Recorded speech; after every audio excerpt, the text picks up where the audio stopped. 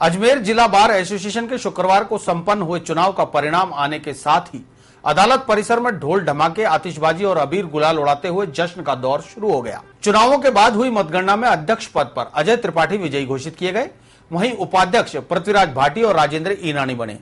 सचिव धर्माराम चौधरी, संयुक्त सचिव रंजन शर्मा, लाइब्रेरियन आशीष शर्मा और कोषाध्यक्ष सरदार सिंह रावत को घोषित किया गया। चुनाव परिणाम घोषित होते ही अदालत परिसर में जश्न शुरू हो गया और सभी अधिवक्ताओं ने अपने चहेते पैनल को फूल मालाओं से लाद कर कंधों पर उठाया और पूरे अदालत परिसर में घुमाकर जीत की बधाइयाँ बांटी। अपने प्रत्याशियों की जीत की खुशी में अधिवक्ताओं ने मिठाइयाँ बांटी। हमारे जो भी सीनियर्स एडवोकेट्स हैं, मेरे वरिष्ठ अभिभाषक संघ है और जो मेरे साथी वकील हैं, उन सबका मैं हार्दिक आभार व्यक्त करता हूँ, तहे दिल से शुक्रिया करता हूँ। मेरे सीनियर्स का मेरे ऊपर आशीर्वाद रहा और मेरे सब साथी वकीलों का मेरे साथ पूरा सहयोग रहा।